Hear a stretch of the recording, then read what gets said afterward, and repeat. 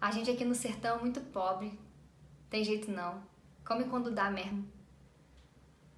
Eu vi mãe ficar dias e dias sem comer pra gente não morrer de fome. Ela chorava, sabe? Disfarçadinha pra gente não perceber.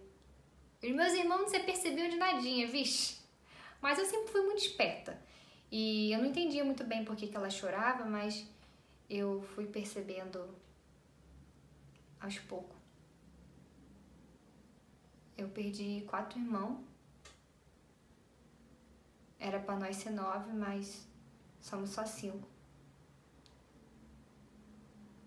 É, morreram tudo de desinteria, desidratação. Essas coisas assim como a gente pobre. Não, mas agora nossa vida mudou. Agora nossa vida mudou, porque agora dá até para comer. mudou para muito melhor. Mudou para muito melhor, porque dá até para comer. Porque o meu irmão Chiquinho, ele foi, é, arrumou um emprego lá na cidade, na capital, e agora ele é porteiro. Mas ele é porteiro de prédio chique, tá? De prédio chique. E todo mês ele manda um trocadinho pra gente. Então agora a gente não come mais só farinha com lasquinha de qualquer coisa, não. Agora a gente come feijão. Agora a gente come ovo, come pão e come até macarrão. Macarrão. Quando eu crescer mais um tantinho, eu vou pra cidade também. Eu vou, eu vou trabalhar lá. Eu vou estudar também. Eu quero ser doutora.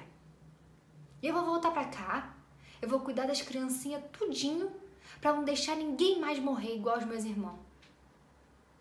Anota aí doutora.